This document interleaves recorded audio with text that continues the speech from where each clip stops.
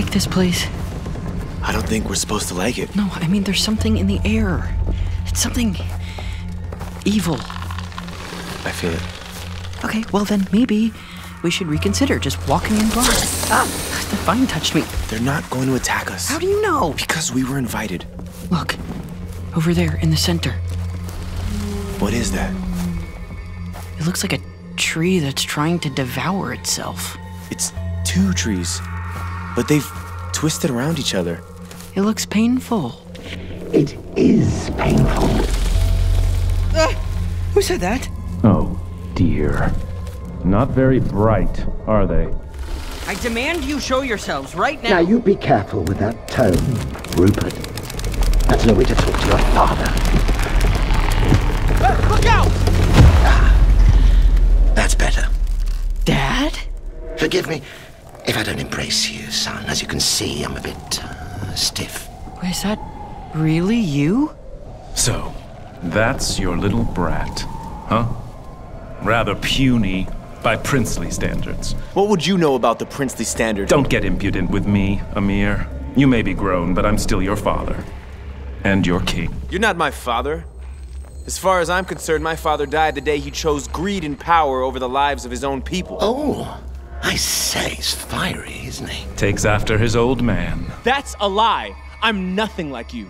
No, you have your mother's unfortunate sense of morality. Yes, it's clear Lavinia's been spoiling Rupert too. She's always been a great indulger. By the way, son, sorry we had to spook your horse and keep you wandering in circles for so long. We needed to buy some time until your rival made his way to the forest. Yes, the prophecy was quite specific about these boys being 18 before you prove your valor. And how exactly are we supposed to do that? Oh, don't play coy with me. You know exactly what you have to do. It's why you came. To fulfill the forest's prophecy. And once one of you defeats the other in glorious combat, our endless wait will finally be over. The forest will relent. And we'll be free. Free to rule on high. Master of all the land. Well, one of us, that is. Wait. One of you will be king? Of course. You didn't think we'd disappear with the forest, did you? I thought me or mother. you or your mother? Rulers of all the land. No. Sorry for the surprise, but one of us is definitely coming back. And not a moment too soon. no! I beg your pardon? You can't come back. Either of you. You two are the whole reason our kingdoms have suffered for the last 18 years. You are terrible king. He's right. After all you've done, neither of you is fit to rule. Oh, save that righteous indignation for battle. You're going to need it. Speaking of, I suppose it's time we moved on to the main event. We've certainly waited long enough. No, wait. Hold on. Now, I see you've both got swords. That's tremendous. That's very good. Now, you feel free to use anything that you want. Rocks, sticks, teeth. Remember, this is, after all, mortal combat. If you're not aiming to kill, you're not playing to win. Now then, if there are no more questions, we'll wish you both the best of luck. And may the best prince win. On your mark. Get set. No! Ah, what now? We're not going to fight each other, are we? No, we're not. Of course you are. That's the whole reason you're here. No. We're here because we thought we could help our kingdoms. But if ending the curse means putting either of you back on the throne, then you can both stay here and rot. Right? Right. Of all that cursed impudence, now you listen up, boy. You're gonna kill your little friend, and you're gonna like it. I didn't raise my son to- you to didn't be. raise me at all. Mom did. How dare you speak to me like that? Rupert's right. Amir! This war of yours, this stupid battle between East and West, it's over. You both lost. Rupert, come on. Let's get out of here. We'll find some other way to save our kingdoms. Not so fast. This war ends when we say it ends. Amir! Divine! I'm on it. Get these things off of me! I'm trying. There's too many of them. Did you really think you could just walk away and turn your backs on destiny? What are you gonna do? You can't kill us! Kill you? Who said anything about killing you? We have other ways of making you fight. And I believe they'll be arriving in five, four, three, two. Stop right there. Mother? Release my son immediately. You despicable tyrant. Mom? Don't worry, darling. Mummy's here. Oh, hi, Lavinia. So good to see you after all these years. You're looking ravishing as ever. Everything that comes out of your mouth is nothing but villainy and lies. Except for that bit you just said about my looking ravishing. That's true. but- Focus, Lavinia. Sorry. I am here to save my son and put an end to this shameful legacy once and for all. You always were so forthright, my pet. It's one of the reasons I married you. And I married you because I was a stupid, starstruck girl who didn't know any better. Now release Amir, or I'll show you what kind of woman that foolish girl has become. Well, she's a bit of a handful, isn't she? Tell me about it. She always had a flair for drama. Drama. Try being married to Lavinia. Excuse me? I'm not the one who plunged his kingdom into 18 years of deliberate chaos, all because of his great big bloody ego. Do you have any idea what it's been like for me cleaning up the mess you've made? No, of course not. You're a man. You only think about yourself. Well, unfortunately, I don't have the luxury of selfishness. I have people depending on me, and maybe my methods are dramatic, but they work. I have kept a kingdom that's been on the verge of collapse together for 18 years. I've kept my people safe and calm and reasonably contented. I've also raised my son to be good and kind and true, so he'll never, never make the same mistake his father did. I did that, all of that, me, by myself. So instead of taking digs at me or threatening me, or even worse, patronizing me, you should get on your bloody knees or or roots or stumps or whatever it is you have down there and thank me. Thank me with every fiber of your being, you selfish, irresponsible, egotistical man. Thank you for what, precisely? For holding the world together when men like you do nothing but tear it apart. And now, gentlemen, since I trust we have your undivided attention, I think it's time we get down to business. And what business is that, my love? The business, love, of releasing our sons and putting an end to this ridiculous war once and for all. Bold demands. What happens if we refuse? Then I'll have no choice but to use this. This amulet contains enough wolfsbane venom to decimate a hundred forests. Wolfsbane? Did she say Wolfsbane? What are we going to do? What is the meaning of this? Surrender. No or... Poison us with wolfsbane? You can't. We're immune to the stuff. That's impossible. Really? Love, do keep up. We're magic. We thrive on the impossible. What are you doing? Get these things off of me. I demand you release me. How Dare you lay a finger on me? Oh, struggle all you like, ladies. Let them go! Do you hear me? Let them go! I'm sorry, Rupert. Dad, stop it. You're killing her. Your mother made her choice. Now it's time to make yours. All you have to do is fulfill the prophecy. Now, what say you, boys? Have we got a deal?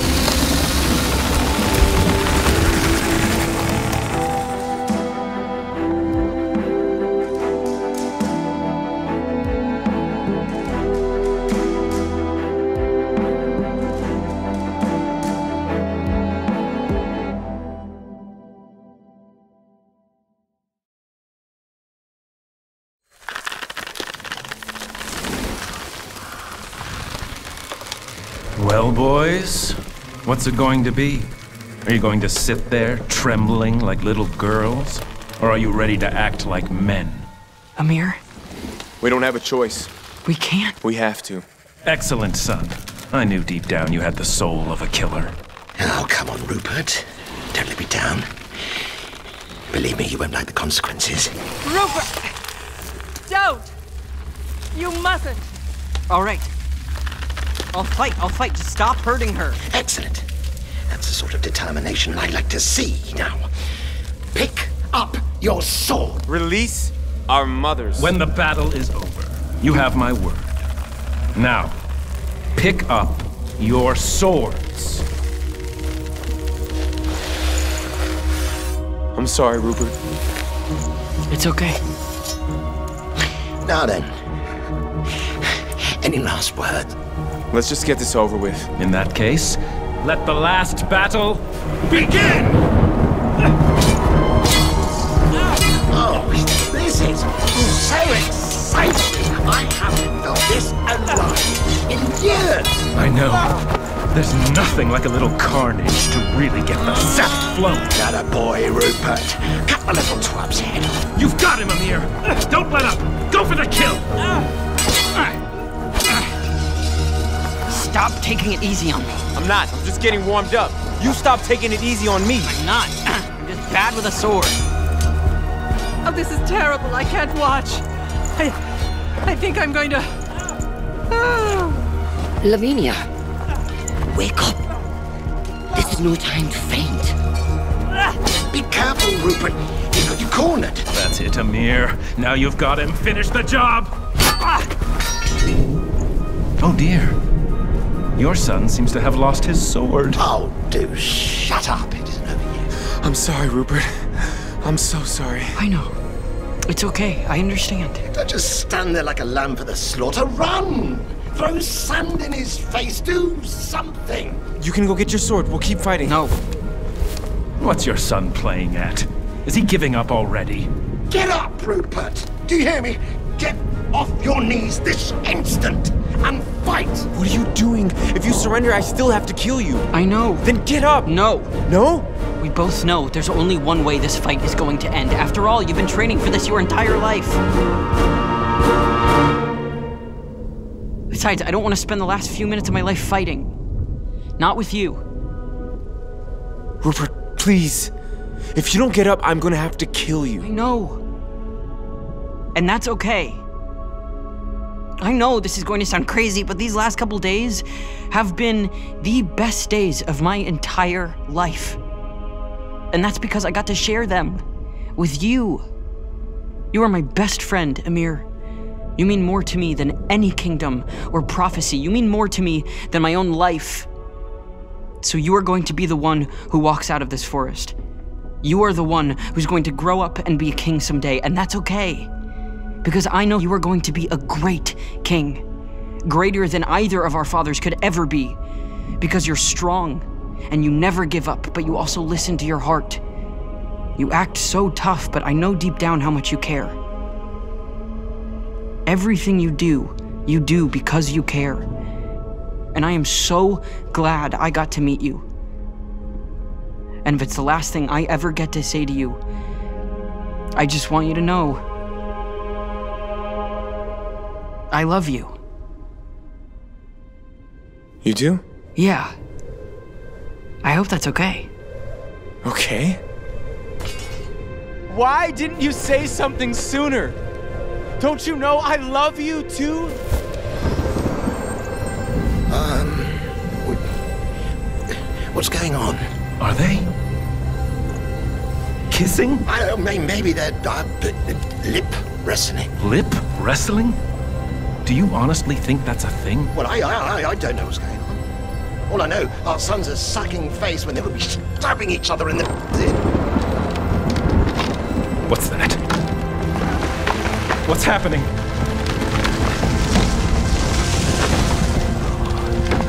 It's.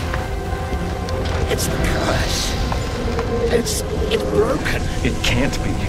That isn't possible. It is. No, something's not right. Can't you feel it? The Forest is fading. So are we!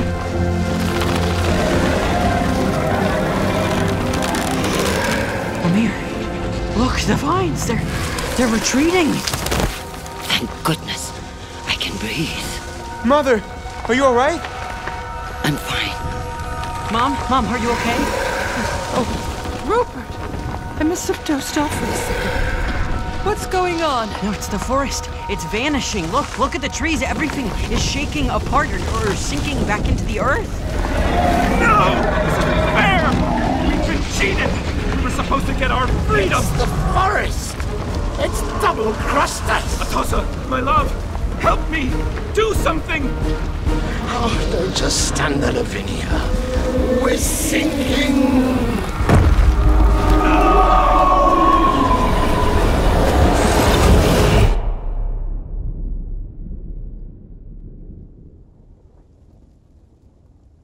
They're gone. Good riddance. They were lousy kings and even lousier fathers.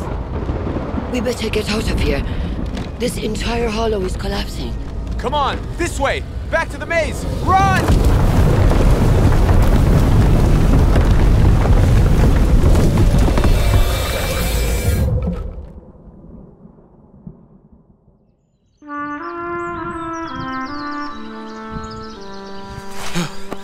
Is everyone.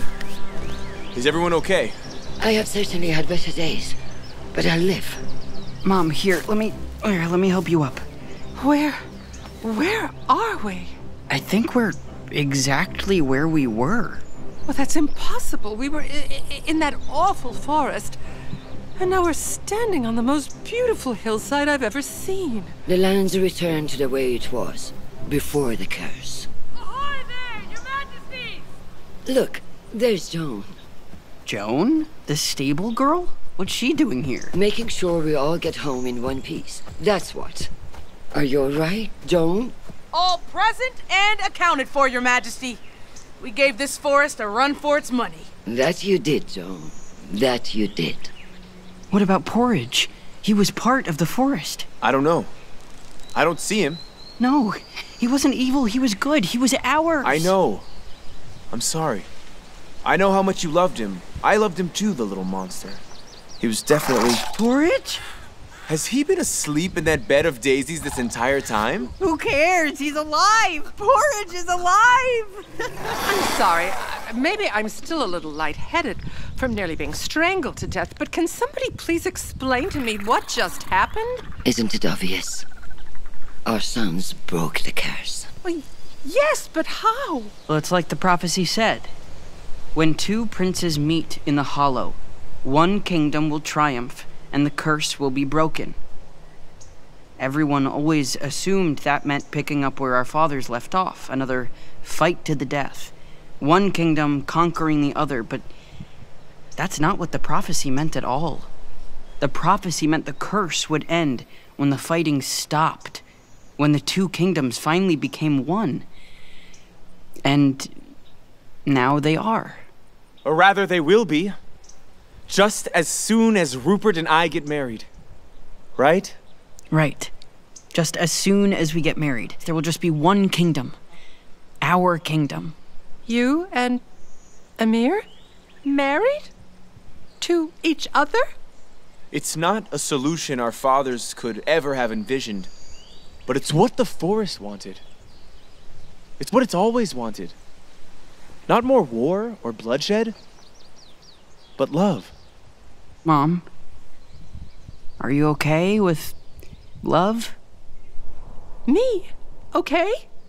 With with you being a I mean that is to say a Ignore her. She'll get over it. They always do.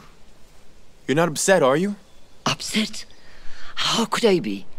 My brave and wonderful son is safe and alive and happy, and this beautiful boy is the reason. Oh, she called me beautiful. I am proud of you, my son. Both of you.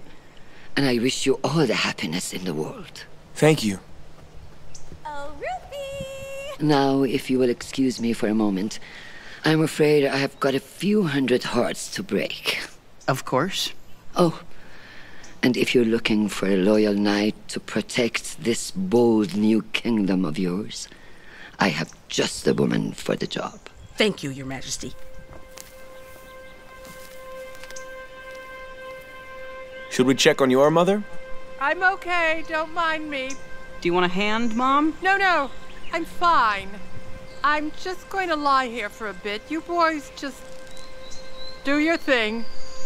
Mummy's very proud of you, Rupert. Okay, well, Amir and I will be right back. We're just we're just going to go for a stroll. Quite right. You do you. Live your life. We should definitely consider living at your mother's castle after the wedding. Actually, I was thinking maybe we could build a new castle Where? here, where the Hollow used to be. Not a castle of the east or a castle of the west, but a castle in the heart of the country. The castle of the Heartland. I like the sound of that. Me too. Besides, I think we're getting a little too old to live with our mothers. Definitely. Of course, you know, when you're my husband, you're seriously going to have to cut back on all the lying.